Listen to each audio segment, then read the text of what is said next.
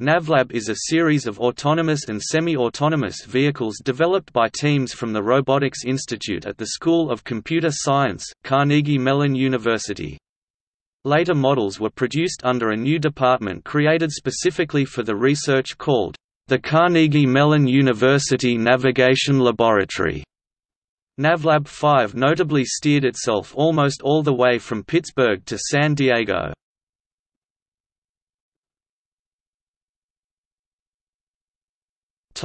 History Research on computer-controlled vehicles began at Carnegie Mellon in 1984 as part of the DARPA Strategic Computing Initiative and production of the first vehicle, NavLab 1, began in 1986.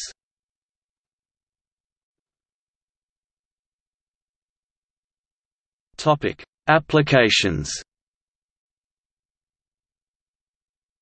The vehicles in the NavLab series have been designed for varying purposes.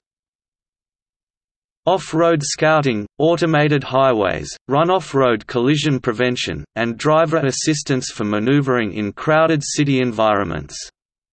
Our current work involves pedestrian detection, surround sensing, and short-range sensing for vehicle control.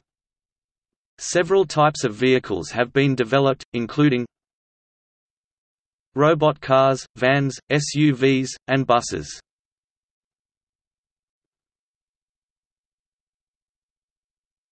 Topic: Vehicles. The institute has made vehicles with the designations NavLab 1 through 10. The vehicles were mainly semi-autonomous, though some were fully autonomous and required no human input. NavLab 1 was built in 1986 using a Chevrolet panel van. The van had five racks of computer hardware, including three Sun workstations, video hardware and GPS receiver, and a Warp supercomputer. The vehicle suffered from software limitations and was not fully functional until the late 80s, when it achieved its top speed of 20 miles per hour, 32 kilometers per hour. Navlab 2 was built in 1990 using a US Army HMMWV. Computer power was upgraded for this new vehicle with three SPARC 10 computers for high-level data processing and two 68,000-based computers used for low-level control. The Hummer was capable of driving both off or on road. When driving over rough terrain, its speed was limited with a top speed of 6 miles per hour, 9.7 kilometers per hour.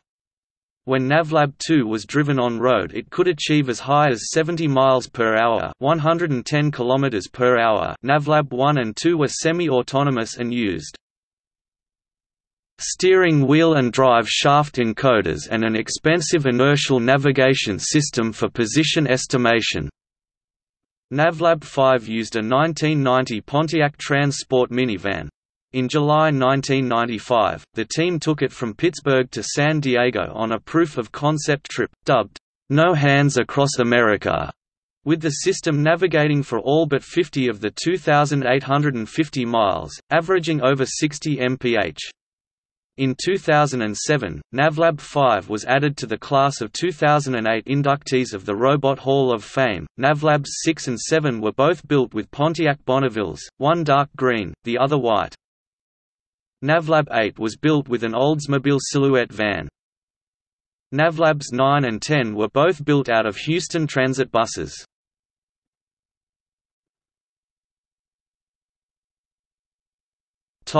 See also